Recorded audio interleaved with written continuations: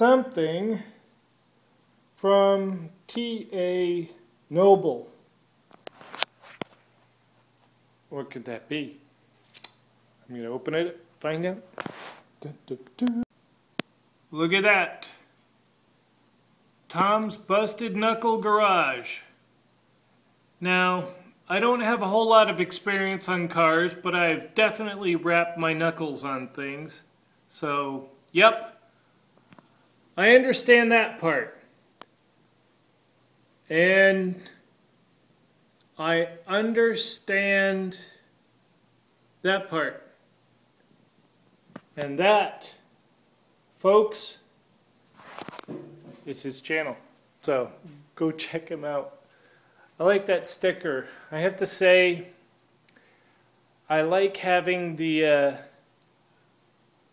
the females represented on the board. So let it not be said that we're chauvinists because we've got women up on our board. You know, Aries Raven 1, Ron, Milrick 77, and uh, T.A. Noble. Yep, yep. So yeah, blurry. Don't you like that blur? That's nice. So we're not a bunch of chauvinist guys. We got women up on our boards. Come on. Hmm? Right. Well, yes. Redhead stripper. I don't know.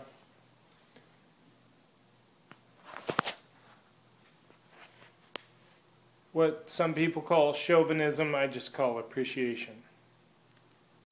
All right, so in my defense, look how my uh, welder is set up. You can see cut into the sheet metal above the terminal screws a positive and negative symbol, which is backwards from the label. So Right now, mine is set up for black to positive, which was for the no gas. So I did originally configure the welder for FluxCore. I've been using it this configured this way for gas because black is on the left Red is on the white. Uh, right, like it says in the stupid freaking label, which is backwards from how the Harbor Freight Chicago elect fuck is set up. Look at that. So, it's, uh, yeah. So I'm going to fix that and try doing my gas welding again. I was going to go back and do flux core thinking that I had it backwards for that. Just goes to show. You can read the label, read the manual, all you want, and they still just ram it up your freaking butt. Doesn't that feel good? I'm enjoying it. Alright, so really I have nothing great to show you because I changed the polarity over to welding for gas.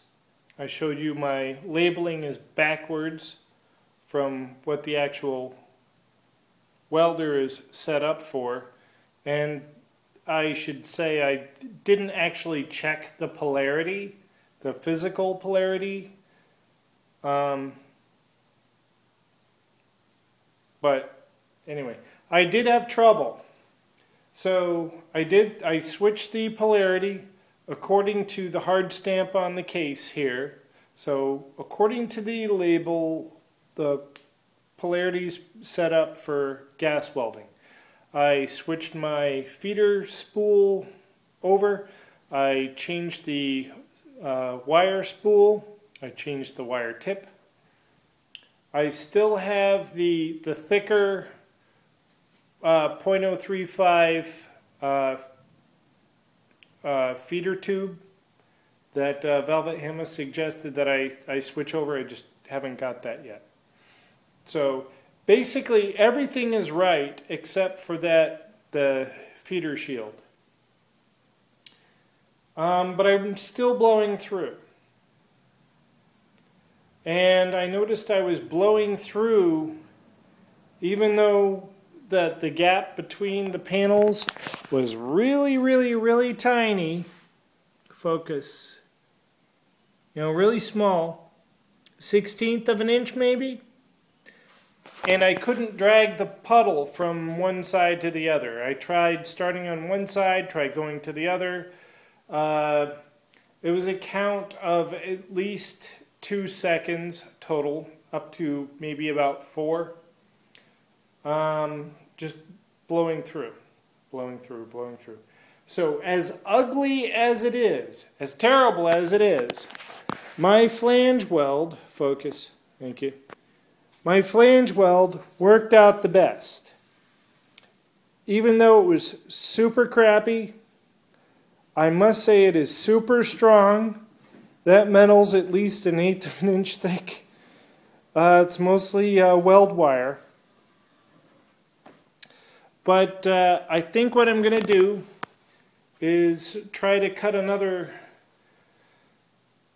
another bit out of this practice panel and flange it and flux core it.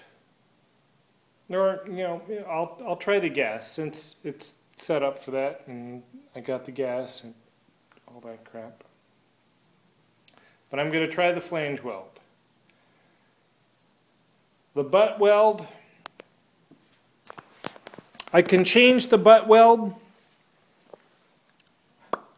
to a flange weld by putting a backer backer sheet in there and I can do that by just going tack tack tack and I've got a piece of backer metal there. I can't do that around here. Um, the purists out there probably going to want to shoot me.